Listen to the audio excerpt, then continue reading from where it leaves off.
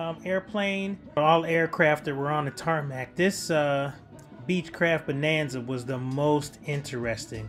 So you can see it's Model 36, 1968, but they they actually have enough room in the back um, as we go down the wing, and you can see the vortex generators.